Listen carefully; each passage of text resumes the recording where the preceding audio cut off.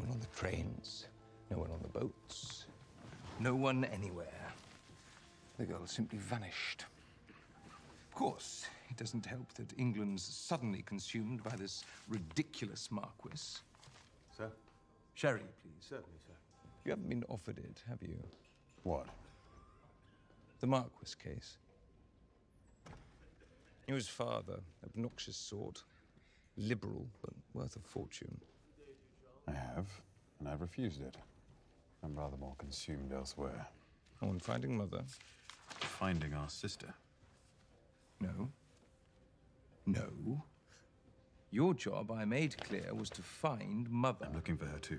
As will, no doubt, Enola. You never cared about her before? She's only 16.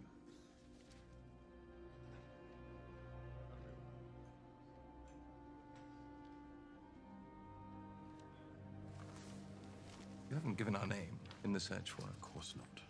I don't want anyone knowing our business any more than you do. Oh, don't worry, little brother. She may have escaped us for now, but I have the best police officers in London looking for a child matching her description.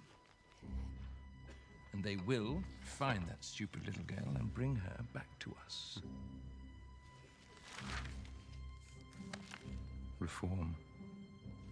God help us. There's one thing this country doesn't need. It's more uneducated voters. England is going to